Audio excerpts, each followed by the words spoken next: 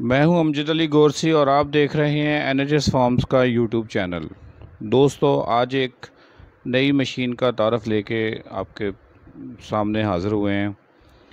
ये जो मशीन आप वीडियो में चलती हुई देख रहे हैं, ये जनाब पिकनिक के तरीक़ा काशकारी को फॉलो करने वालों के लिए एक बहुत ही मुफीद और अहम मशीन है। इस मशीन को हम नोमेटिक प्रीसीजन सीडर कहते हैं। ये मशीन बुनियादी तौर पर सलाहियत रखती है कि जो बतालीस इंच के बेड पर पाँच लाइनें काश कर सकती है मल्च के अंदर। ये बेड के ऊपर पड़ी हुई मल्च को काट कर उसमें रास्ता बनाकर या पिछली फ़सल की बाकियात जैसे मूंजी गंदम, कॉटन इस तरह की किसी भी क्रॉप की जो बाकियात है, उसको काट कर उसके दरमियान से रास्ते बनाकर अगली फ़सल जो है वो लगा सकते हैं। ये ये मशीन जो है, इसलिए इफ़ेक्टिव है कि इस इस मशीन को ख़रीदने के बाद फिर हमें बार बार मल्च करने की ज़रूरत नहीं है, क्योंकि पिछली फ़सल के जो बाकियात हैं वही मल्च के तौर पर इस्तेमाल होंगे और हमें बाहर से मल्च करने की ज़रूरत जो है वो नहीं रहेगी। पिकनिक, चूँकि एक नया मेथड है पाकिस्तान में और इसकी मशीनों पर काम हो रहा है।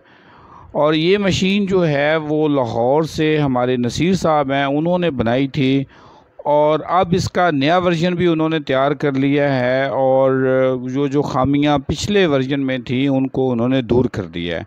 ये तिल से लेकर मकई तक तमाम सीड्स जो हैं, उसको लगा सकते हैं। आप इसे इंटरक्रॉपिंग भी कर सकते हैं। मतलब अगर आप चाहते हैं कि जी आपने तीन लाइनें मकई की लगानी है और दरमियान में दो लाइनें मूंग बीन की लगानी है तो वो ऑप्शन भी आपके पास मौजूद है कि उन जो उसके, वो वाले डब्बे हैं उनमें आप मकई का सीड डाल लें और जो दूसरे डब्बे हैं, उनमें आप मूँगी का सीड डाल के वो लगा सकते हैं। आप गंदम के साथ मटर लगाना चाहते हैं, आप लगा सकते हैं। आप गंदम के साथ मूली, गाजर शलजम लगाना चाहते हैं तो वो भी आप लगा सकते हैं। इवन के प्याज तक का सीटर जो है, वो भी ये मशीन, इतना बारीक सीड्स तक जो है वो लगाती है। इसमें कुछ खामियाँ थी।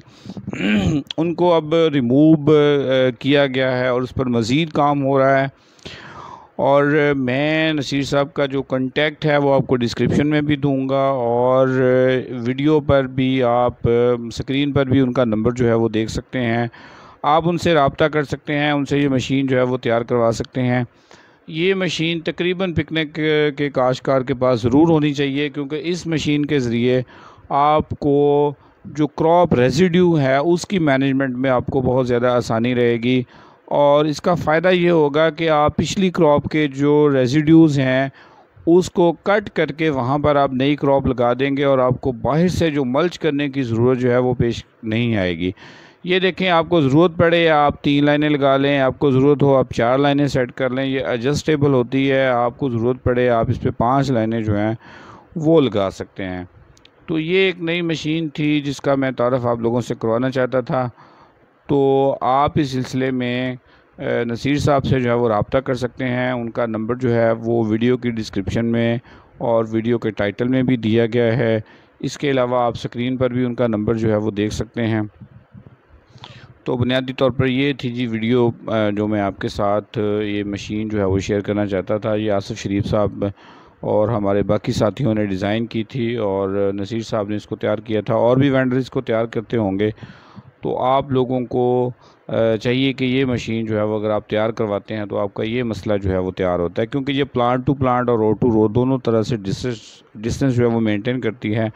और जैसे आप वीडियो में देख सकते हैं कि वो पिछली क्रॉप के जो रेजिड्यूज़ हैं जो आपने मल्च की हुई है उसको कट करके इसमें जो है वो सीड लगाने की सलाहियत है। तो ये दोस्तों आज की वीडियो थी ये मशीन का तारफ़ था। होपफुली आपको वीडियो पसंद आई होगी।